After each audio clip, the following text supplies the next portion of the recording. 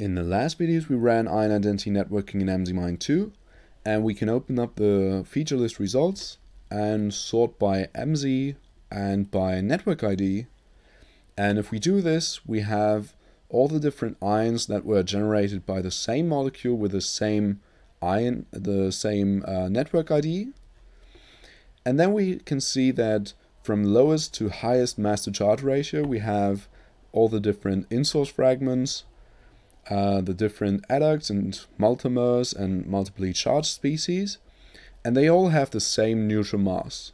So the neutral mass was just calculated from the charge, from the mass to charge ratio, the charge, the multimer count, and the adduct or in-source fragments and modifiers. And then we come up with the same or very similar neutral mass, and this neutral mass actually corresponds to the standard that we measured, so this standard was also deoxycholic acid, and the neutral mass matches this very well. And also if we submit all the data, so we submitted the feature list here with the ion identity networks, so the annotations and the connections between the ions, um, we came up with multiple annotations from GNPS as ursodiol, and also deoxycholic acid and deoxycholic acid. And if we look at the MSMS spectra, they are very similar.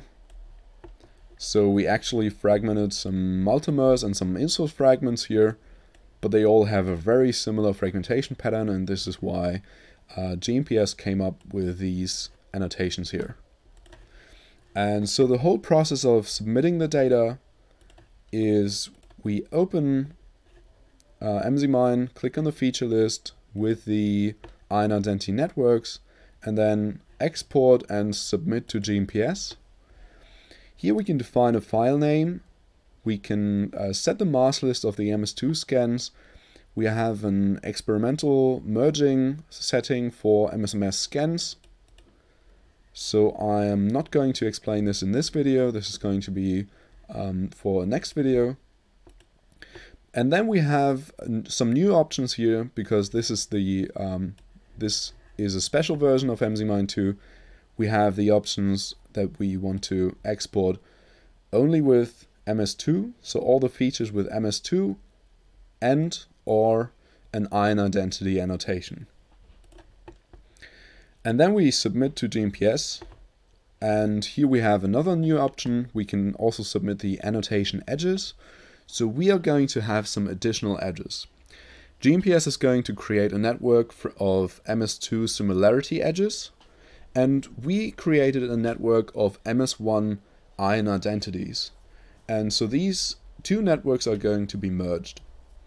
And if we submit with a username and password, then the new job is going to be created in our own GNPS user space. And so we click on OK, we run the module, and it's going to export an MGF, and the MGF is going to uh, hold all the information of the MS2 scans, then the MS annotation edges, and the quantification table of the feature table. And here we can see that the new job was created in my user space.